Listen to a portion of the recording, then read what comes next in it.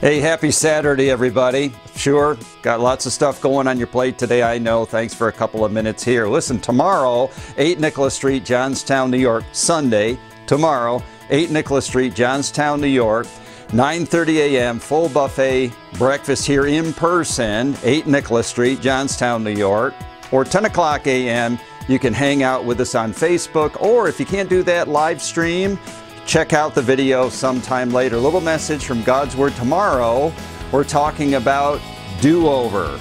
All things do over.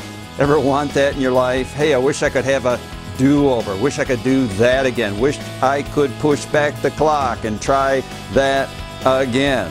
So, God's do over. Oh, it's a great story. Great story of grace mercy, how much God really loves us, all contained in the scripture. Short Talk, 10 a.m., Facebook Live, or here in person. Check us out online. Have a great Saturday and a great weekend. God bless you.